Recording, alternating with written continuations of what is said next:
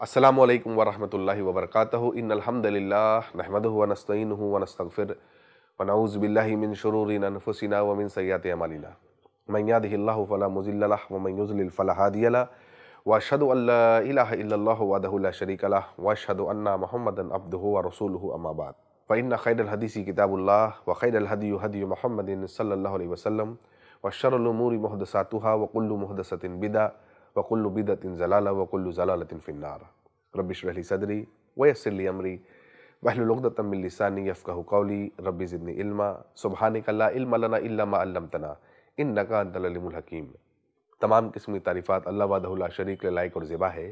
और बेहिसाब लातादाद दुरुद सलाम हो जनाब मोहम्मद रसूलुल्लाह सल्लल्लाहु अलैहि वसल्लम पर। अल्लाहुम्मा सल्लि अला मोहम्मद वाला अली मोहम्मद, कमा सल्लैत इब्राहीम वाला इब्राहीम मजीद।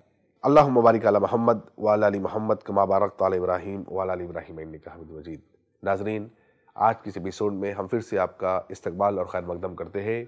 हम अपने series Islam science and Muslim scientist को आगे बढ़ाते हुए आज की इस नशिस्त में इन फिर से ज़बान के ताल्लुक से चंद बातें और देखेंगे इन पिछले एपिसोड में हमने ज़बान जो एक नेमत है, जो अल्लाह ताला ने हमें दी है, उसके ताल्लुक से हम कई सारी बातें देख चुके थे कि किस तरीके से ज़बान की नफ्स ब्रेन में अटैच होती है और किस तरीके से ब्रेन में ब्रोकाज एरिया, वर्निक्स एरिया जो होता है और मोटर एरिया होता है, ये तमाम एरियाज़ यूज़ होते हैं, हम जब बोलते हैं तो। और जब हम बोलते हैं तो more than fifty different things का यूज़ होता है, तब हम जाके एक वर्ड बोलते हैं। और किस तरीके से हम बोलते हैं डायफ्राम से से लंग्स लंग्स से ट्रैकिया ट्रैकिया से लेरिंग्स लेरिंग्स से वोकल कॉर्ड में जब आवाज़ बनती है, ये पूरा प्रोसेस हम डिटेल में अल्हम्दुलिल्लाह देख चुके थे। और हमने ये भी जाना था कि ज़बान में टेन थाउज़ेंड से ज़्यादा टेस्ट बर्ड्स होते हैं।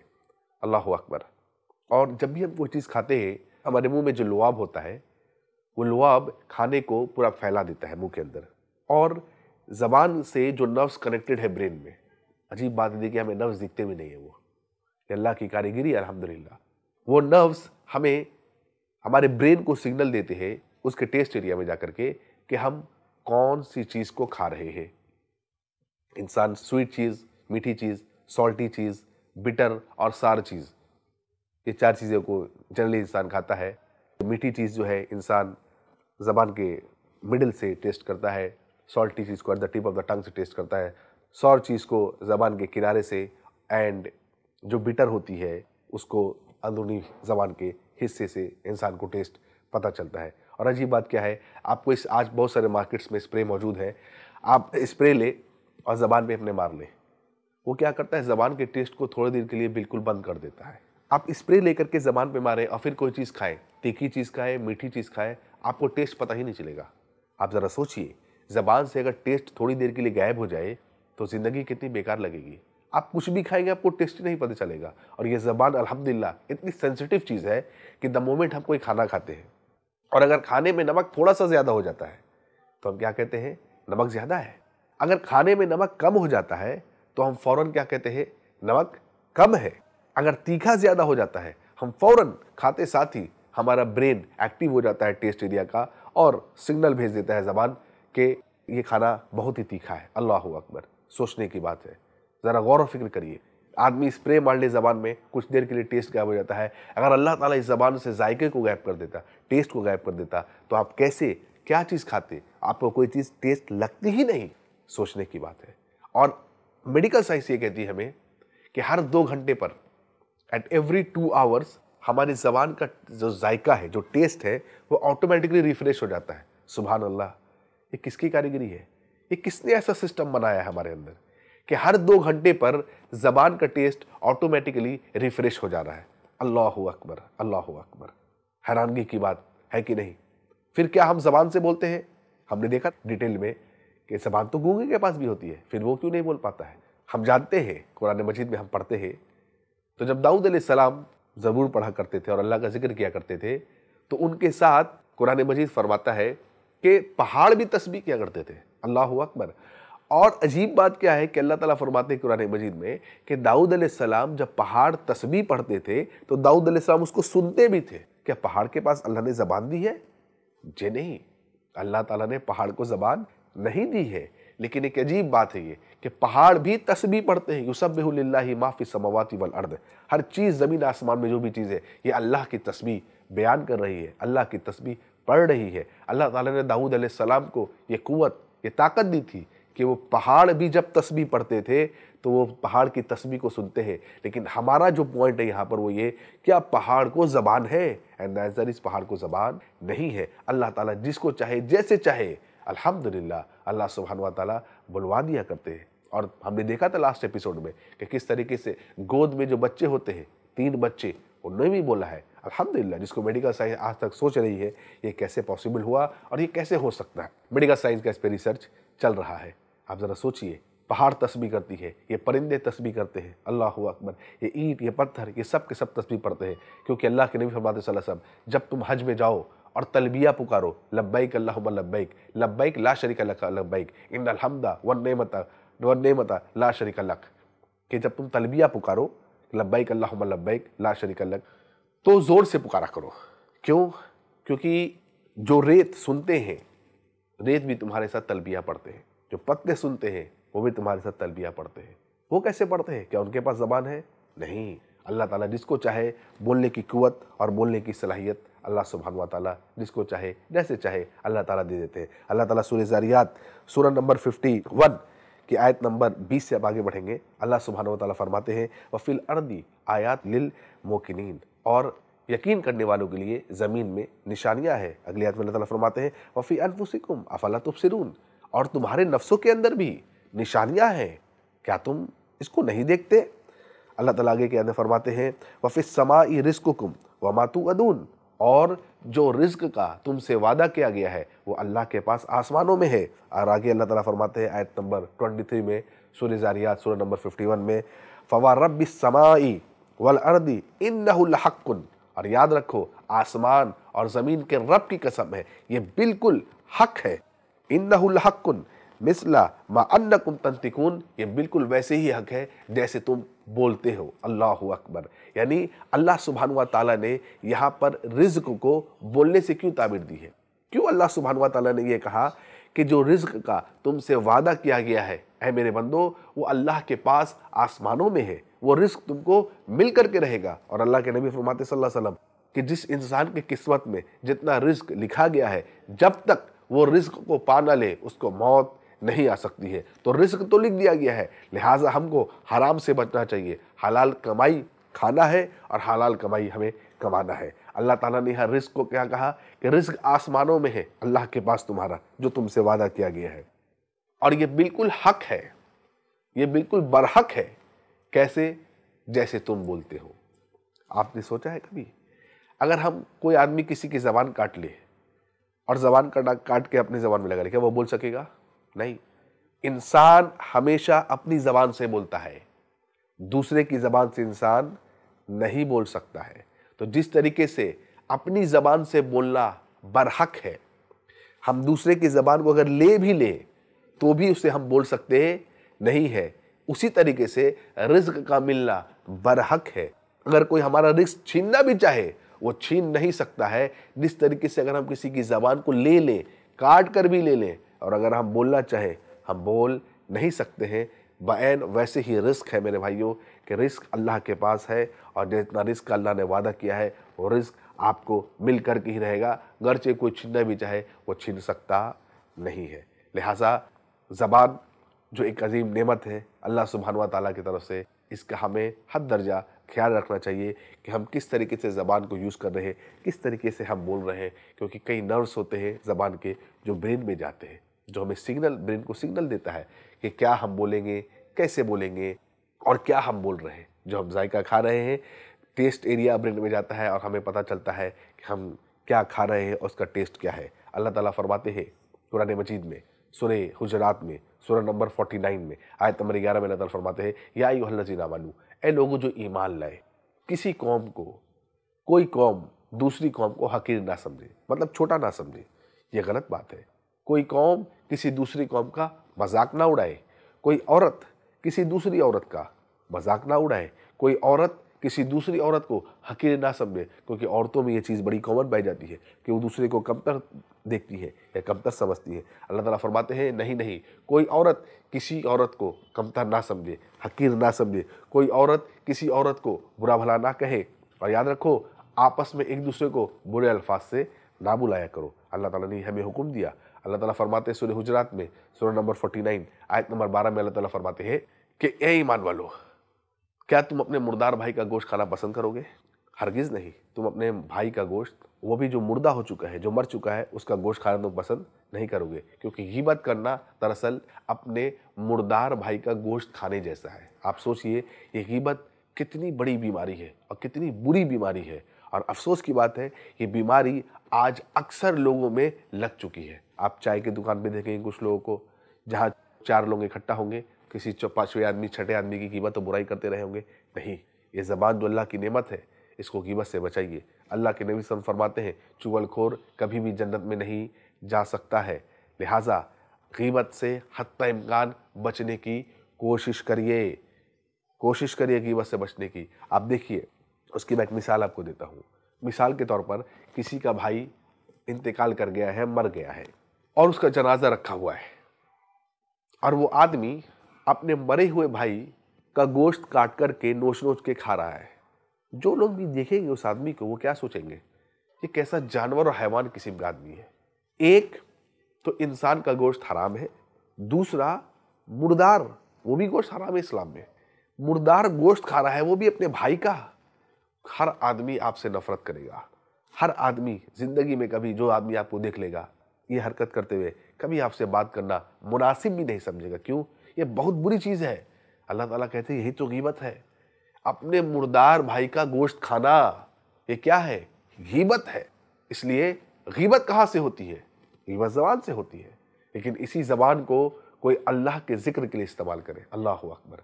इसी जबान को कोई अल्लाह के ज़िक्र से तर रखे। और एक दाई को चाहिए कि अपनी ज़बान को हर वक्त वो अल्लाह के ज़िक्र से, अल्लाह सुबहान ताली के ज़िक्र से तर रखे। ये ज़बान कितनी खूबसूरत हो जाती है।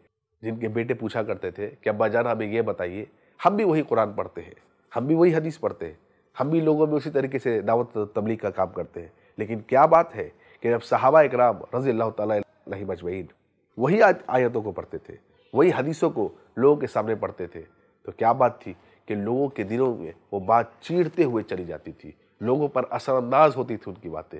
वो क्या कहते हैं? उनके वालिद ने जवाब दिया कि बेटे, वो सहाबा ऐसे थे कि जब भी अपनी ज़बान खोलते थे तो इसलिए खोलते थे और इस नीयत से खोलते थे कि उनका रब राज़ी हो जाए। अल्लाह अकबर। लिहाजा अल्लाह ताला ने उनकी ज़बान पर वो हिकमत, वो दानाई और वो चाशनी जारी कर दी थी कि जब भी वो कोई बात बोलते थे, वो बात इतनी खूबसूरत हो जाती थी और इतनी असरअंदाज हो जाती थी कि लोगों के दिलों को चिरते हुए उनके दिल में जा कर के वो बात बैठ जाया करती थी। अल्हम्दुलिल्लाह सुब अल्हम्दुलिल्लाह, और लोग हिदायत पे आ जाया करते थे। आपने कभी सोचा है, जब अल्लाह के नबी सल्लल्लाहु अलैहि वसल्लम इस्लाम की दावत दे रहे थे, अरब की सरजमी में, ये सहाबा इकराम जब इस्लाम नहीं लाए थे, बड़ी सी बड़ी तलवार इन सहाबा की गर्दन को नहीं झुका सकी थी, बड़ी से बड़ी तलवार, अल्लाह अकबर। बड़ी से बड़ी तलवार लेकिन ये वही साहबा है जिन्होंने गर्दन झुकाना तो दूर नबी सल्लल्लाहु अलैहि वसल्लम के लिए गर्दन को कटवा भी दिया। इस्लाम के लिए गर्दन को कटवा भी दिया। क्यों? जबान। आपके अखलाक। आपके अखलाक ने, नबी सल्लल्लाहु अलैहि वसल्लम के अखलाक ने उन सहाबा की गर्दनों को, जो बड़ी सी बड़ी तलवार नहीं झुका सकी, झुकाना तो दूर, वही सहाबा आपके अखलाक से इतना मुतासर हुए, अल्हम्दुलिल्लाह, अपनी गर्दनों को आपके लिए, इस्लाम के लिए, अल्लाह के लिए, अल्लाह की राह में अल्हम्दुलिल्लाह कटवा दिया। क्यों? जबान की बरकत। जिसके जबान में नरमी आ गई, जो अच्छी बात बोलने लगा, अल्लाह अकबर, उसे बहुत बड़ी नेमत मिल गई मेरे भाइयों।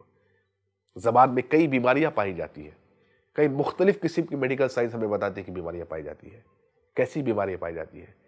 जबान की एक तरह की बीमारी है, जबान में इसको कहते हैं टंग टाई, यानी एक टाई जो हम पहनते हैं जनरली टाई के जैसी जबान हो जाती है। उसको कहते हैं टंग टाई एक बीमारी है। माइक्रोग्लोसिया ये भी एक बीमारी है। जबान की, ये कैसी बीमारी है? अल्लाह रहम फरमाए, ये ऐसी ज़बरदस्त और ख़तरनाक बीमारी है मैक्रोग्लोसिया ज़बान की, कि इसमें ज़बान पूरा का पूरा बाहर चलाता है। और ज़बान इतना लंबा और इतना चौड़ा हो जाता है कि वो मुँह के अंदर जा ही नहीं सकता है। अल्लाह रहम फरमाए। ज़रा सोचिए, ये खूबसूरत ज़बान जो अल्लाह सुबहान ताला ने हमें दी है जो हमारे मुँह के अंदर रहती है। अल्हम्दुलिल्लाह। अगर ये ज़बान लटक के बाहर चली आए, हम कितने खौफनाक, कितने बदसूरत दिखेंगे। कभी आपने सोचा है? मेडिकल साइंस कहती है, वो बीमारी है, माइक्रोग्लोसिया। जिसमें ज़बान बिल्कुल बाहर लटक जाती है और ज़बान चौड़ी हो जाती है और ये इतनी बुरी बीमारी है, इंसान ज़बान को अपने मुँह के अंदर ले ही नहीं सकता है।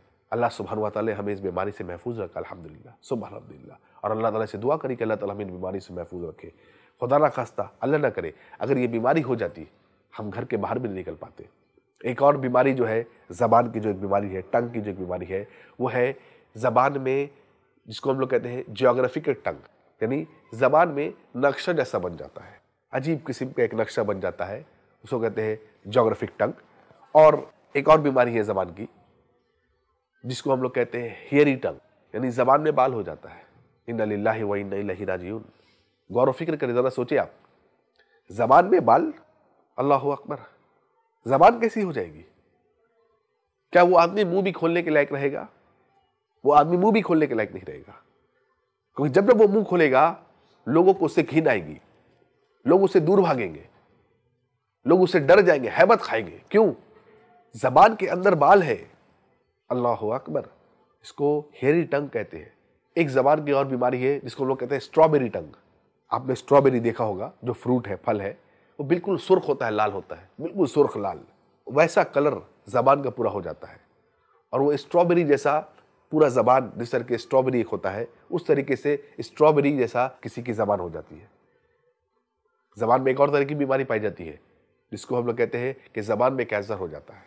अल्लाह अकबर। ये कैंसर किस वजह से होता है? ये कैंसर तंबाकू, सिगरेट, इन सब चीज़ों से खाने से होता है।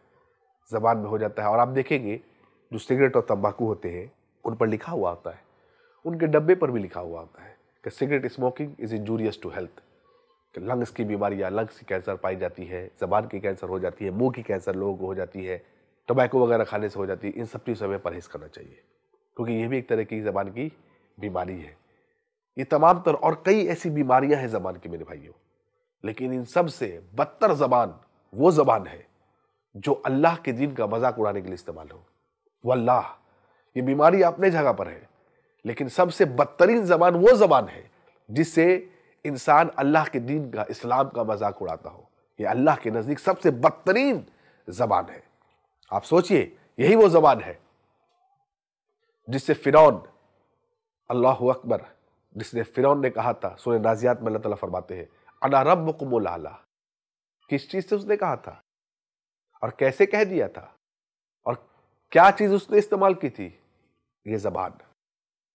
आप देख रहे हैं, इस जबान ने कितनी बड़ी कुफरिया जुमला उसके मुँह से निकलवा दिया, कि खुद को रब मान बैठा। कहता था, अना रब कुमुल आला, मैं रब हूँ। इन राजीवन क्यों? कैसे? जबान। ये वही जबान है कि फिर भूल गया कि शायद कि जब वो माँ के पेट के अंदर था तो वो भी पॉइंट वन मिलीमीटर के जैसा था। उसकी कोई हैसियत नहीं थी, कोई औकात नहीं थी, जैसे हर इंसान की होती है। अल्लाह ताला ने उसकी और पूरे दुनिया के लोगों की, माँ के पेट के अंदर जबान भी बनाई, आँखें भी बनाई, दिल भी बनाए, पूरे जिस्म के आज़ा बनाए। लेकिन वही आदमी कितना नाशुक्रा हो जाता है। जब दुनिया में आता है तो उस रब्बुल आलमीन को बुरा भला करने लगता है। अल्लाह को बुरा भला करने लगता है। अल्लाह सुबहान तला को गाली देने लगता है। अपनी जबान से यह कहता है कि नाउजुबिल्ला सुबह नाउजुबिल्ला कि ईसा सलाम Jesus Christ, peace be upon him. ये अल्लाह के बेटे हैं नाउजुबिल्ला वो अपनी जबान से कहता है कि ईसा अलैहिस्सलाम ट्रिनिटी का एक हिस्सा है नाउजुबिल्ला यह जबान कुफरिया जुमले, शिरकिया जुमले कहला देती है। कब? जब इस जबान का सही इस्तेमाल ना हो। फिर भी तो उसी स्टेज में होगा, बाकी पेट के अंदर। उसकी जबान को किसने बनाया था? अल्लाह सुबहान ने बनाया था। लेकिन क्या बोल बैठा? अना रब को बुलाला किससे? इसी जबान से। मेरे भाइयों, जरा गौर फ़िक्र करिए यह जबान कितनी बड़ी नेमत है कि अगर इसका सही इस्तेमाल किया जाए, अल्लाह अकबर, अल्लाह ताला इससे राज़ी हो जाता है और अल्लाह ताला उसकी दुनिया आखरत बना देता है। और अगर इस्तेमाल सही ना हो तो ऐसे कुफरिया जुमले अल्लाह ताला इस जबान से निकलवा देता है कि उस इंसान की दुनिया आखरत दोनों की दोनों बर्बाद हो जाया करती है। अल्लाह ताला सूर्य इसरा सूर्य नंबर सत्रह, आयत नंबर तेईस और आयत नंबर चौबीस में अल्लाह ताला फरमाते हैं, अपने माँ बाप को उफ तक ना कहो, फला तकुल्लह माफ़ियो। वला तनहर हुमा वकुल्ला हुमा कौलन करीमा। देखो, जब वो अपने माँ बाप को, दोनों में से, या दोनों में से एक को, बुढ़ापे में पाओ तो उनको उफ तक ना कहो। बल्कि वकुल्ला हुमा कौलन करीमा, बल्कि इस अपनी ज़बान से, उनसे ज़रा बेहतरीन अंदाज में बात करो। हम इसी ज़बान से तो अपने माँ बाप की नाकदरी करते हैं। इसी ज़बान से तो माँ बाप को हम बुरा भला कह देते हैं।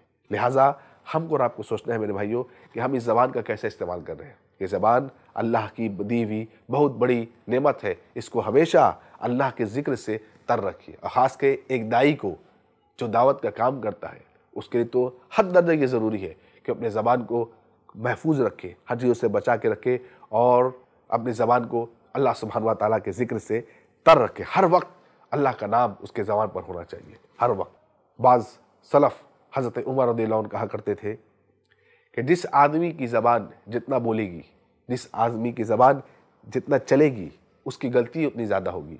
और जिसकी गलतियाँ जितनी ज़्यादा होंगी, उसके गुनाह उतने ज़्यादा होंगे। और जिसके गुनाह जितने ज़्यादा होंगे, वो आदमी जहन्नम में जाने वाला होगा। अब्दुल्ला बिन मसूद रदी और फरमाया करते थे कि अगर किसी चीज़ को एक लंबी कैद की ज़रूरत है तो वो चीज़ क्या है? वो चीज़ ज़बान है। लंबी कैद, अगर किसी चीज़ को तुम देना चाहते हो, अपनी ज़बान को एक लंबी कैद दे दो। क्यों? कम बोलो।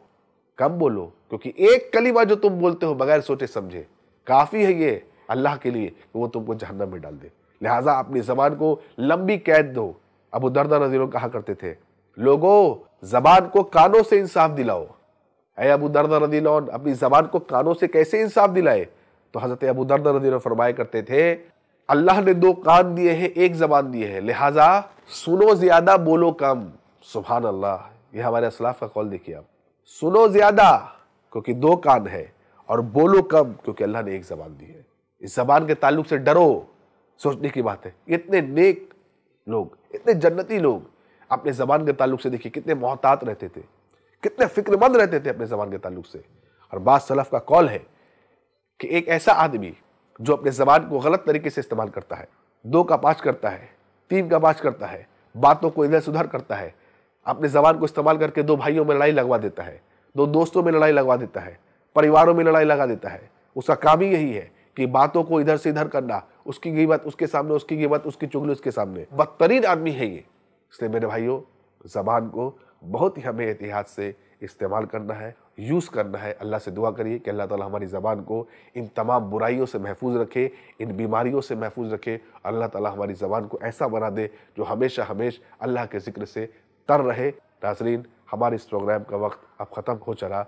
हम आपसे अब रुखसत की इजाज़त चाहेंगे। इन अगले एपिसोड में हम आपसे फिर मुलाकात करेंगे। तब तक के लिए हमें इजाज़त दीजिए। वाखर दावाना अलहमदिल्ला रबीआलमीन वसलम वरहमल वर्का